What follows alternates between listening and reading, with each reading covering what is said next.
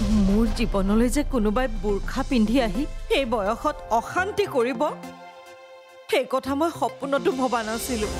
ইয়াক মই ফালিয়ে পেলাওঁ মোৰতো। ক'ত পলাইছ? আপুনি জানেনে এই কথাটো শুনাৰে পৰা মোৰ মনলৈ কিমান কি কি কথা আহি আছে?